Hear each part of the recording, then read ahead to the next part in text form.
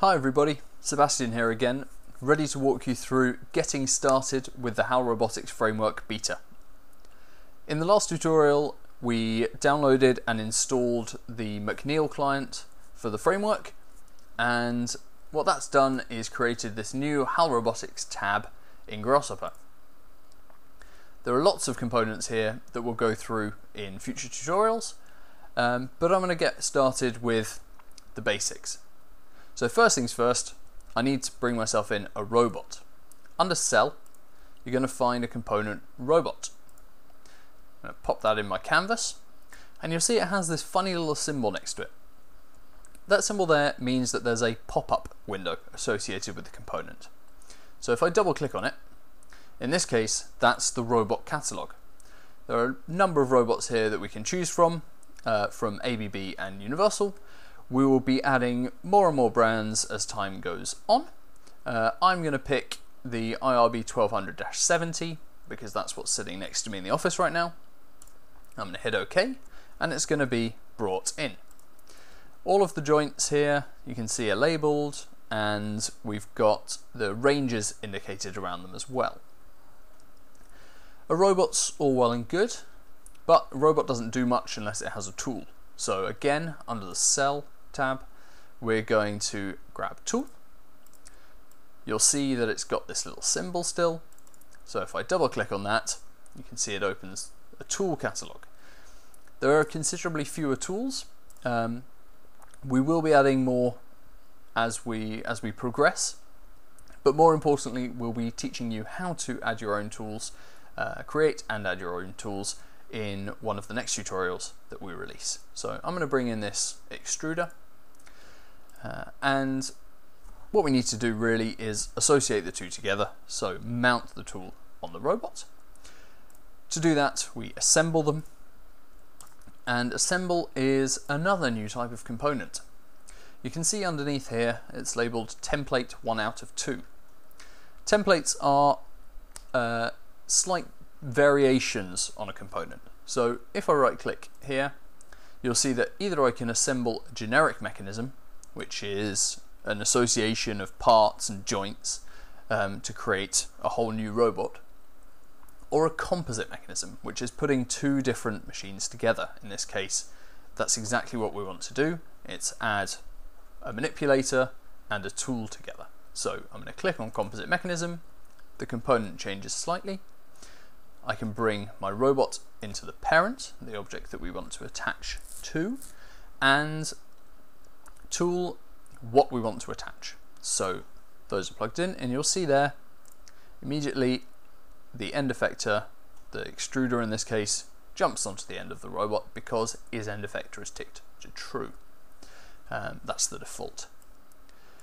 It's good practice, generally speaking, to hide anything that we're no longer using. It avoids any duplication in the viewport. Um, and we have our robot ready to do something. Well, what do we want it to do? Simple case, I'm going to get it to follow a curve. So in Rhino, I've actually prepared a curve here. So I'm going to bring that in to Grasshopper by setting one curve in a component and I'm going to hide it again here in Rhino. Now, a robot moves by going to different targets. So the component we're looking for to make it move to different places on this on this curve is called targets. You'll find it under the motion tab here. And once again, we'll see that target is a template component. So we can right click on it and you'll see that as well as being able to create a target from a frame or from joint positions, we can also create it from curve.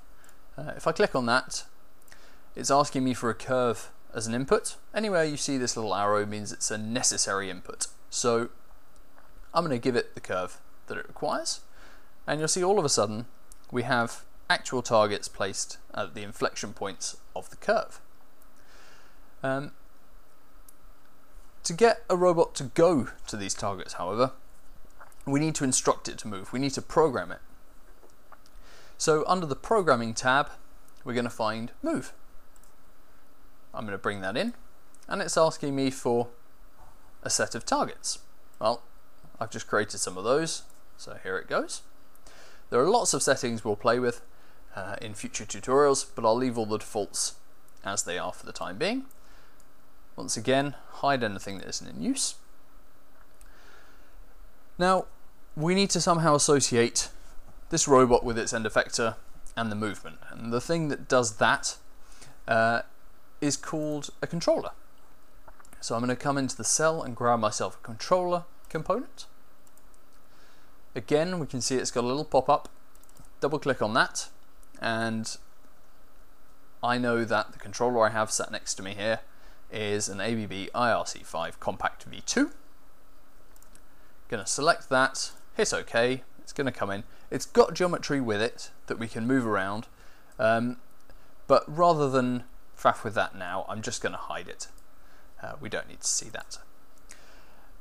We can see the controller component here is asking for a robot, something that's going to do uh, do the motion, and it's asking for a procedure, something something for that robot to do. So I'm going to give it the motion. And we'll see there that all of a sudden this initial motion has also been added in from the starting point to that first target. What we really want to do now is execute, simulate this thing. So I'm going to come up to control, execute, bring that in. It's asking me for a controller, which I can willingly give it, and it's asking me for an execution control. If I hover over there, uh, you can see the type of input it wants.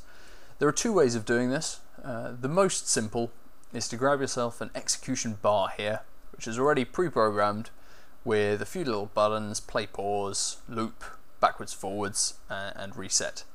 So as soon as I plug that in, I'm going to hide the robot that's not doing anything and I'm going to hit play and you'll see here that the robot starts moving. It starts in a bit of an awkward position. But it'll then work its way through all of our target points with the appropriate accelerations between each one. And once it gets to the end it'll stop. So we can then either reset it or set it to loop and it will continue to do that over and over again. The other thing that we'd like to do as a starting point is to export this robot program to a real robot. So to do that, we're going to come up to Program again and Export. I'm going to pop that in, and you'll see this is another new type of component that has Shift plus arrow on it. These variation components are very similar to the templates, but are much su more subtle differences. So generally, a variation means there'll be more or less inputs, but the action will be the same. So in this case, if I press Shift and up, you'll see that all the previous inputs were there. The effect of the component is going to be the same, but it's asking me for an extra couple of inputs, a mode and a procedure to export. Um, I'm going to keep this simple and I'm going to return to the, to the simple version, which is asking me for a controller. I've got one of those, a path, which is just a place that I want to export my robot code to. And it's asking me for a run. Well, run is simply, if I hover over that, a boolean. So I'm going to grab myself a button which I can plug into the run, which I can plug into the run node. And when I click the button there, the robot code for that has just been exported to this file there. And that's all there is to it. We've just programmed a robot, simulated to make sure that it was doable in under 10 minutes. Um, so we will, in the near future, be producing a whole load more tutorials to delve much, much deeper into the settings and all the different options that we've uh, created here. But hopefully this is enough to get you started and to get you playing with the HAL Robotics Framework beta. So I'll see you again next time. Bye.